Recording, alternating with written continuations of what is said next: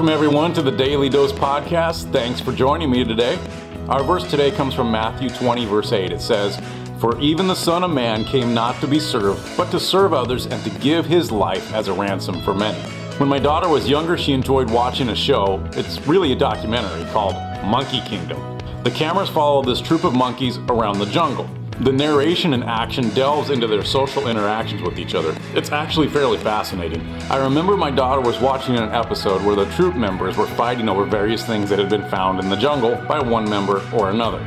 As she watched, my daughter turned to my wife and provided a thoughtful reflection. Monkeys are so selfish, she said. Why can't they just share with each other? Of course, after hearing this, my reaction was, um, last night, didn't you and your brother just throw down over a stuffed animal that neither of you even plays with anymore? Monkeys aren't the only ones who are selfish. Have you ever really met a truly selfish human being? Someone who only helps themselves. I mean, someone who feels it is their right to take and take and take, but never to give? If you haven't, you need to open your eyes and look in the mirror. Humans, all of us, are selfish creatures. The sad thing is that this selfishness often enters into our churches. I've heard phrases like, I wasn't fed by the sermon today, or maybe, the praise music didn't help me worship today, or even, that person's clothing today is interfering with my worship. And then finally, the babies are making too much noise and keeping me from focusing on my worship. Unfortunately, sentiments like this are spoken both out loud and silently every week in houses of worship around the world. But this begs the question since when did worship become about us?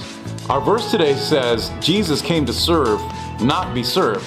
Church isn't about fulfilling the needs of individual members. It's about a collective group of people from all walks of life coming together to offer praises to the King of Kings. Worship is about serving God.